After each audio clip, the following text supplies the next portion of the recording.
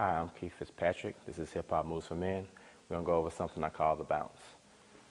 So when we hit this step, the bounce is right at the end. It's not anywhere at the beginning. What we're going to do, we're going to start, we're going to move this way. We're going to hit down, then we're going to step out and bounce twice. Okay? So it's going to look like slide, step, and drop, drop. You'll bounce twice, okay? So you'll be here, here, step, and drop. Drop. You can switch it around. Step and drop.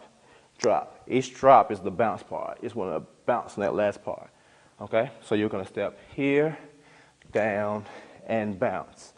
Bounce. Step. Here, down, and bounce. Bounce. Okay? So each time you do it, take one large slide, step behind, and step out. Bounce. Another one, slide, step behind, and bounce. Bounce. Okay?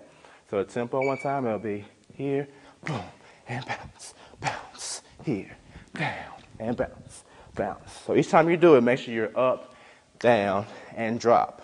Drop. Make sure you keep the transition we're talking about, okay? So last time you're here, here, you bounce, you bounce, you step out, you're here, you bounce, you bounce, and that's your bounce.